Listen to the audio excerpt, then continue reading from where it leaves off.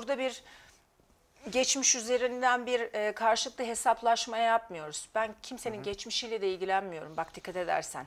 Bu, bu konu çocukların üstün hayrıyla ilgili olan bir konu. Evet. Yoksa bu şahısın geçmişinde yaşadığı, e, kendisi zaten bunun üzerine çok prim kastı. Yani fuhuştan yakalanmış olması vesaire.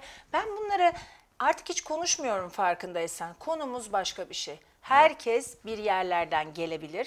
Nereye gideceğini biliyorsa hiçbir sıkıntı yok. Ama çocuk konusu başka. Evet. Olmuyorsa olmuyor. Kabul edeceksin. Evet.